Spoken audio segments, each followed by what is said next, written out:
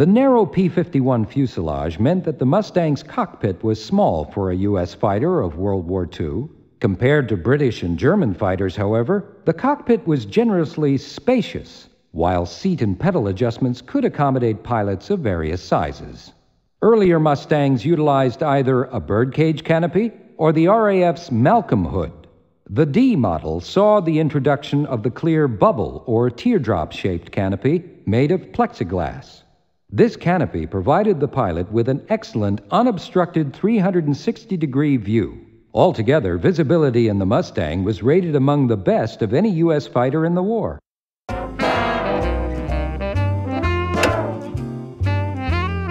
In early model P 51s, the thin wings forced ground crews to mount the airplane's four Browning 50 caliber machine guns on their side at oblique angles. This unusual positioning often resulted in jammed guns when maneuvering at high Gs. The problem was solved in the D model by thickening the wings, allowing the guns to be mounted upright. At the same time, the Mustang's standard armament was increased from four to six machine guns. In addition to the guns, 10 5 inch rockets could be fitted onto zero length launchers under the wings. Alternately, each wing could be loaded with a 500 or 1,000 pound bomb.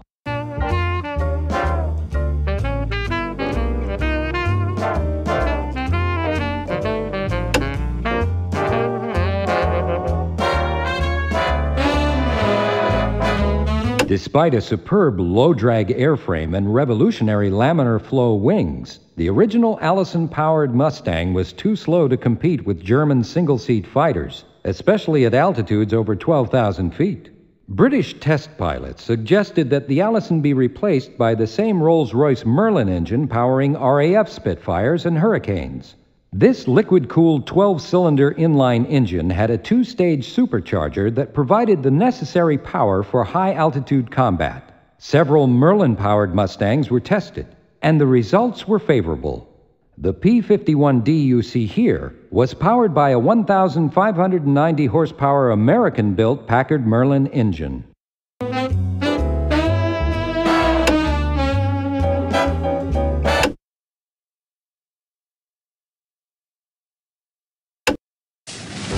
Hard hitting and very tough, the mighty Mustang was a pilot's dream. Often called the best fighter of the war, the P 51 proved itself an extremely powerful weapon. In the early days of the war, the British had come to the North American Aviation Company and asked that they develop a new fighter that the RAF could use to combat the Luftwaffe. It took the engineers at North American only 102 days to build a prototype. The first production models were delivered to the Royal Air Force in the fall of 1941. The British named it the Mustang, and by May 1942, the new fighters were proving themselves in combat. Originally, the P-51 had a very capable 1200 horsepower Allison engine. But in 1942, the British fitted the plane with the 1380 horsepower Rolls-Royce Merlin engine and turned the P-51 into the fastest plane in the sky with a top speed of 437 miles per hour. North American Aviation then fitted the Merlin engine in new Mustangs it was building for the U.S. Army Air Force. Soon, thousands of the hot little fighters were in combat in every theater of the war. The P-51D was the definitive version of the Mustang. A new bubble canopy increased the pilot's visibility. Additional fuel tanks gave the plane unprecedented range, and six 50 caliber wing-mounted machine guns gave it a very powerful punch. The extra fuel tanks gave the P-51 the ability to escort heavy bombers all the way to their targets deep inside enemy territory. The bomber crews called the fighters their little friends, rightly so, for without the protection of the Mustang, too many bombers would have been shot down and daylight bombing would have failed. No wonder Air Force General Hap Arnold called the P-51 Mustang one of the great miracles of the war.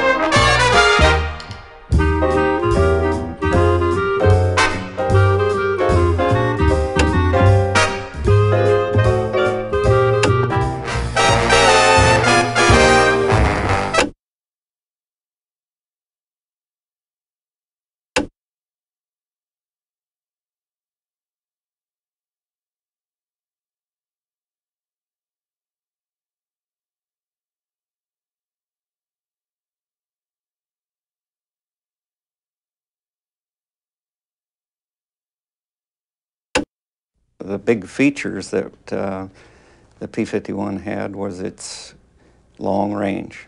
I mean, it could go anywhere that the heavy bombers could go and come back, stay with them, and, and bring them home. The other features that um, made the P-51 so special was its uh, high maneuverability and high performance. It was very fast um, on the deck, on the ground, or at high altitude due to the uh, two-stage, two-speed supercharger. I always felt that I could outmaneuver any German airplane with the P-51. One of the disadvantages of the P-51 was the liquid-cooled engine that had to have a radiator to keep the engine cool. And of course, if you got a hole in your radiator system and you lost your coolant, uh, that was that'd be pretty devastating. What characteristics make a a good fighter pilot. Training probably, you know, the guy with the most experience generally is going to be the best pilot. So experience level was very important. Uh, knowing your airplane, knowing your tactics, knowing the enemy, knowing his tactics and capabilities was important. Eyesight, was important in World War II because you know we didn't have radar and uh, and things like this. You had to see them. You know, it was all visual. If you see somebody before he sees you, you can get yourself into a, a position of advantage to um, attack. And maybe there's a little motivation there too. You know, you, do you want to see them?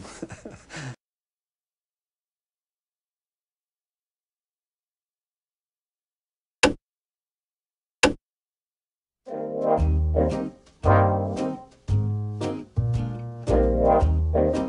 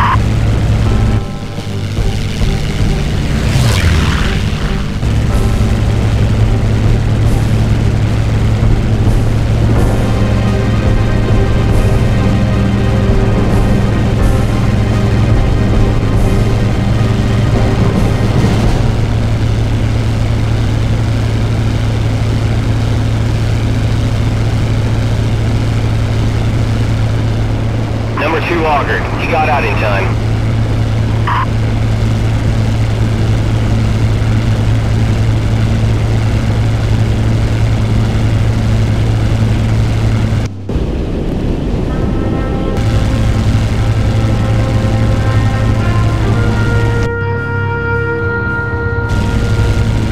Mascot White Leader, 4 Focke-Wulf 190s, 9 o'clock low, heading south, 7 miles, single fighter, He's to your left, 9 o'clock low, range 7 miles.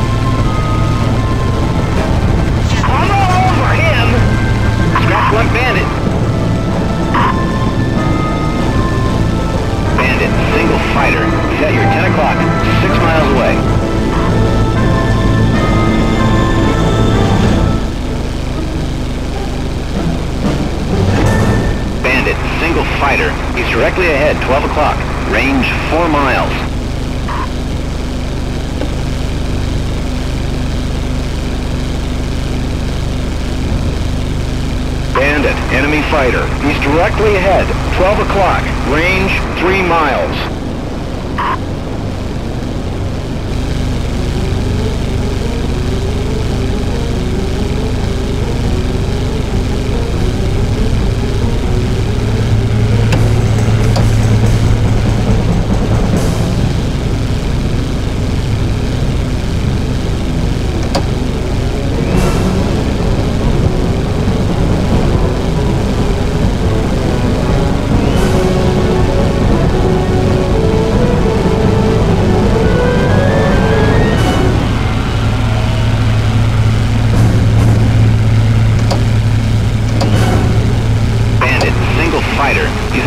o'clock high, distance 700 yards.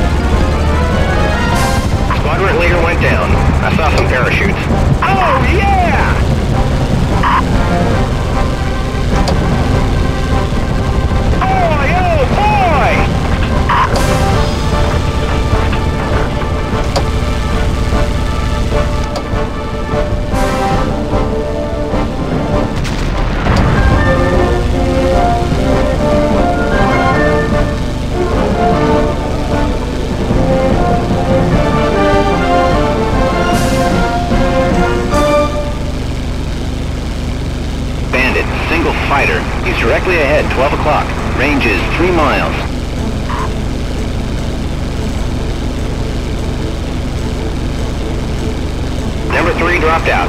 I saw some parachutes.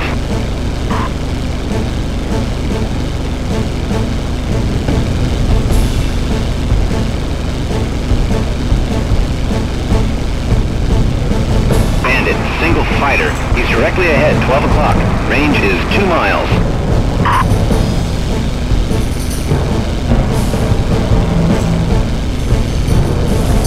Bandit, single fighter. He's directly ahead, 12 o'clock. 1,000 yards away.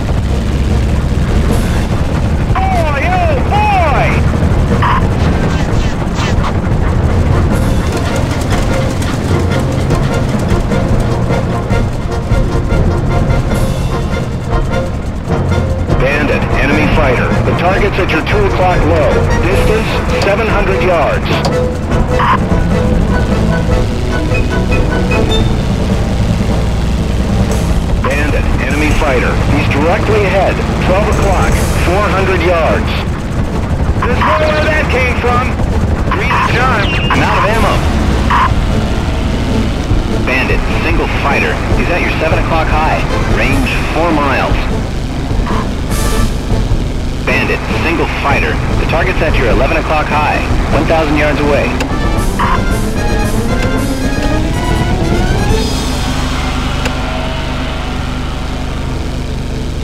Bandit, enemy fighter. The target's at your 11 o'clock high. Range 1,000 yards.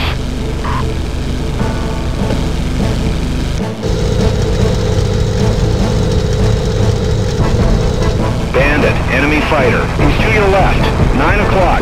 Range is 5 miles.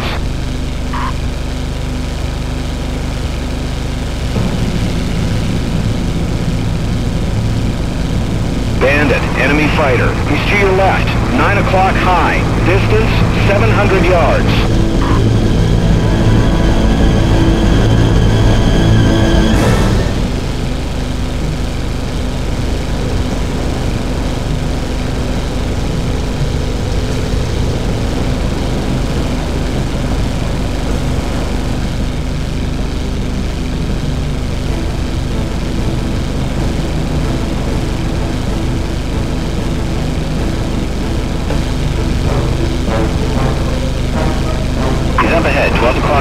1,000 yards away.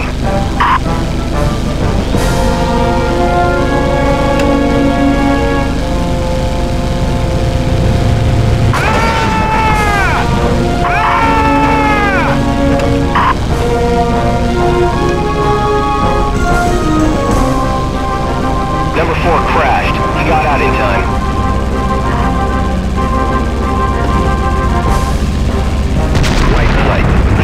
Waypoint Baker, 5 o'clock.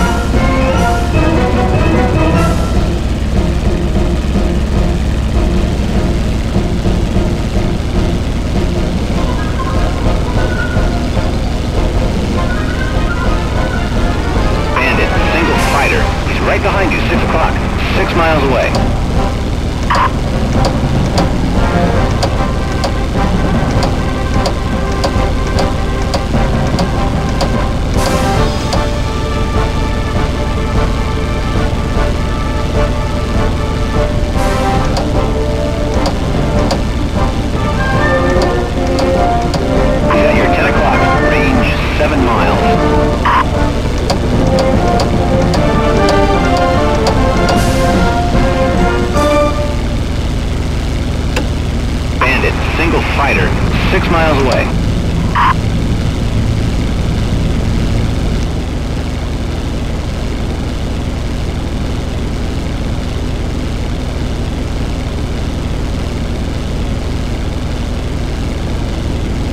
White flight, proceeding to waypoint dog, 2 o'clock,